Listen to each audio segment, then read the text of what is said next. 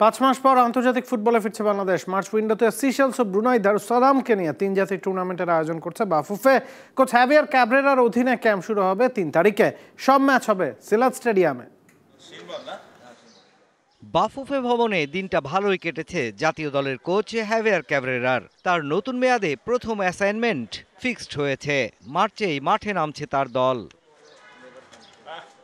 চলতি বছর ফিফার সবকটি উইন্ডো কাজে লাগাতে আগে থেকে প্রস্তুত করা হয়েছে ক্যালেন্ডার। সে মোতাবেক মার্চ উইন্ডোতে হবে তিন জাতির টুর্নামেন্ট, জুনে সাফ আর সেপ্টেম্বরে এফসি এশিয়ান কাপ আর অন্য কোনো দলের সাথে ফিফা উইন্ডোর ম্যাচ।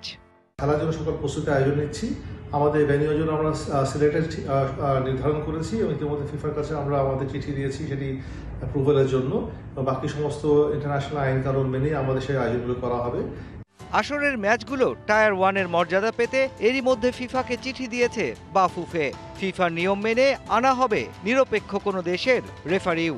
লিগের প্রথম পর্ব শেষ হলেই দু তিন দিন ব্রেক দিয়ে আমাদের ন্যাশনাল টিম কল করে আমাদের ক্যাম্প শুরু করে দেওয়া হবে এবং বাকি আমাদের সমস্ত কোচিং স্টাফ ইত্যাদির মধ্যে নির্ধারণ করে ফেলা হবে। এই সংক্রান্ত বাকি সকল সিদ্ধান্ত আমাদের কমিটিতে নেওয়া হয়েছে।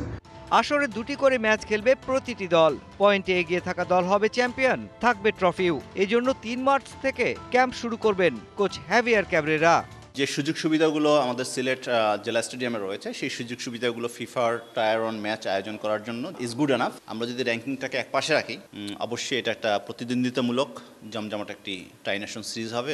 ক্যাবরেরার সিলেট ভেন্যুর পরিদর্শন শেষে সিদ্ধান্ত নেওয়া হবে কোথায় হবে জামাল জিকোদের প্রশিক্ষণ camp. Mushfiqur Rahman DBC news Dhaka.